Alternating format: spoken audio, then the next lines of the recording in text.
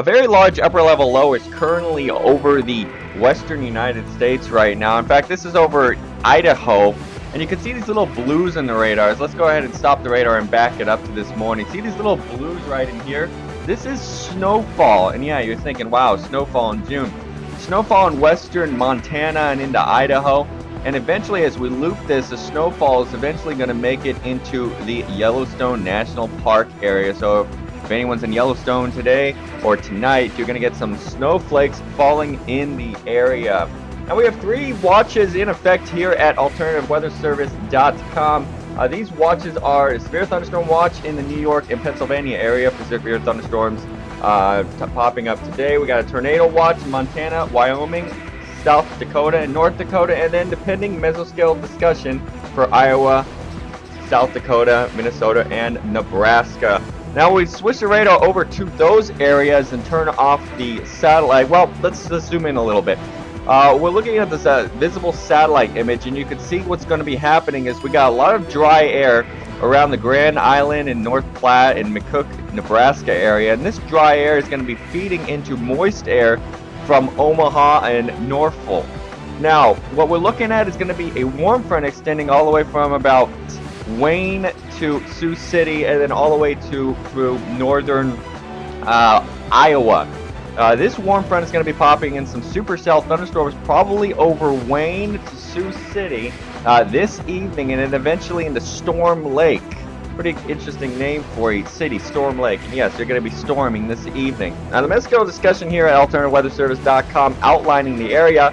Now, I was iffy on issuing a watch, but I'm starting to get more confident in going with a full tornado watch uh, across parts of north, east, Nebraska, and into Iowa. We're going to be looking at the Sioux City area and Storm Lake for uh, tornadoes this evening. In fact, uh, what we're going to be doing is pulling in the CIN. It's called CIN, and this is going to be what the cap is. Now, a cap is an area of warm air uh, above an area of cooler air, so we don't get any condensation when the cooler air particles uh, hit the warmer air. And we're going to pull that up right now. This is this morning. The blue area signifies a very capped atmosphere, a lot of warm air in the mid levels. And then we're going to look at now.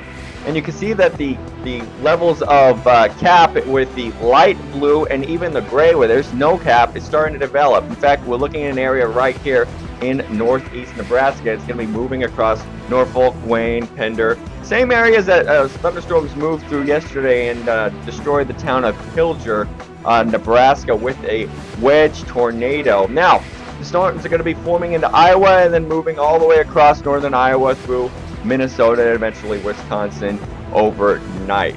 As for the other tornado watch, I put the map in motion. You can see the storm system moving through the eastern Montana area, and you can see storms already developing across Miles City, Terry Circle, Glendive, and Jordan. This is going to be where your tornadoes are going to be around this area. In fact, let's pull up that watch box again. We'll put that on the side.